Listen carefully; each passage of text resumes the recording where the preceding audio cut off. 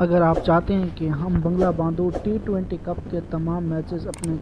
mobile पे देखें तो बिल्कुल ठीक वीडियो पर पहुँचे हैं जैसे मैं आपको कहूँगा वैसे आपने करना है तो आपके पास अपने आप ही बंगला बांधो के मैचेस लाइव आ जाएंगे सबसे पहले चैनल को सब्सक्राइब करें और वीडियो को लाइक करें और कमेंट में लिख दें बंगला बांधो लाइव तो आपके पास लाइव चल जाएगा